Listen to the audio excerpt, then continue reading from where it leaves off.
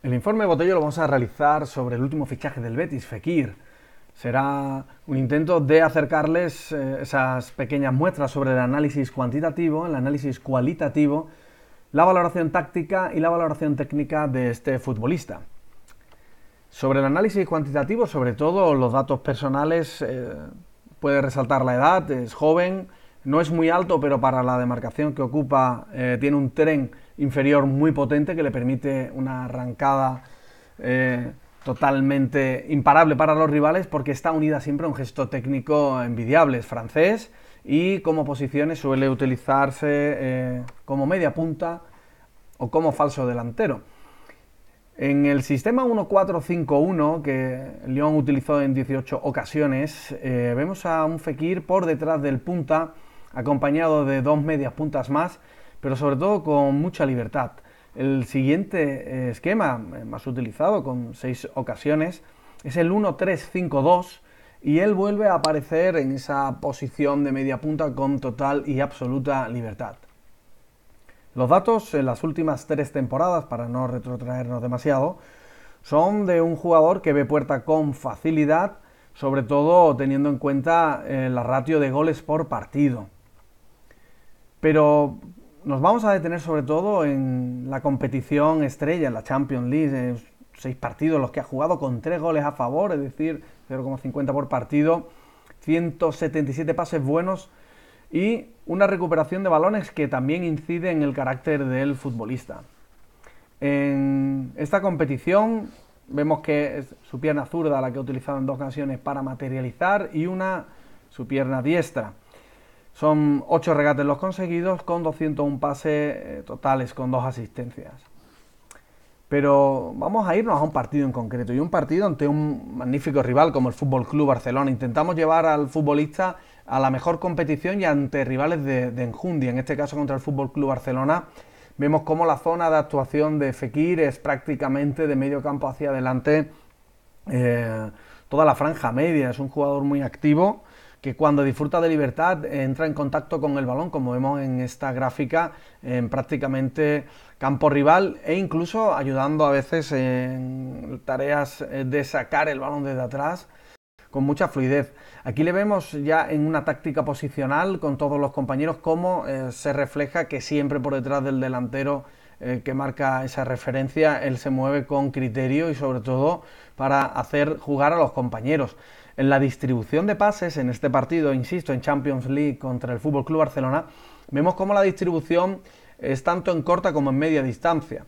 También hay que tener en cuenta que el Barcelona hizo un partido muy notable y eh, impedía el, juego asociativo del Lyon, pero sin embargo nuestro jugador eh, buscó ese juego asociativo constantemente por izquierda y por derecha en labores defensivas, que es lo que comentaba anteriormente. Es un jugador que se implica, que realiza bastante faltas, por cierto, va muy fuerte al, envite, a los duelos, y lo que nos permite ya pasar al análisis cualitativo. En el análisis cualitativo, personalmente creo que es la inteligencia lo que más resalta de su juego. Aquí le vemos en esta eh, gráfica posicional cómo atrae a muchos rivales, lo cual permite que los compañeros, sobre todo los compañeros de banda, eh, tengan libertad. Esa atracción de rivales la podemos ver eh, en el siguiente vídeo. Cómo él se busca el espacio, dentro de la característica de su juego está la lectura de los espacios, el ofrecimiento constante que realiza, siempre buscando esa zona media entre los rivales, cómo lee el punto débil de las líneas de los contrarios para atraer a dichos contrarios y permitir que los compañeros pues disfruten de esos espacios como vemos aquí hizo con el lateral diestro. Otra característica es la lectura del encuentro. Le, permite su demarcación con absoluta libertad por detrás del delantero, eh, jugar tanto a izquierda como a derecha, teniendo una visión de juego privilegiada con esa zurda que le permite filtrar pases, como vemos en la, siguiente escena. Eh, contra dos rivales, temporiza, aguanta el esférico, tiene esa visión para insisto, esperar que el compañero se acerque para romper en, velocidad. Esa atracción de rivales es, constante en su fútbol.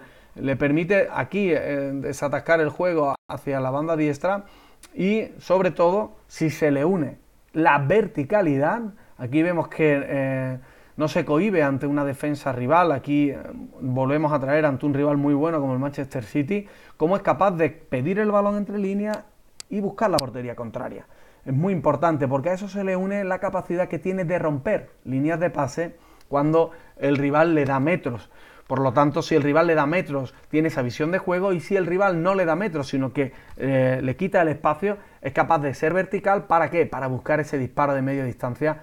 Aquí vemos el, golazo ante el City como él busca el balón en zona media, conduce y cuando ve el esférico eh, perfectamente colocado en su pierna izquierda, busca el golpeo. Un golpeo que le permite en acciones a balón parado ser efectivo.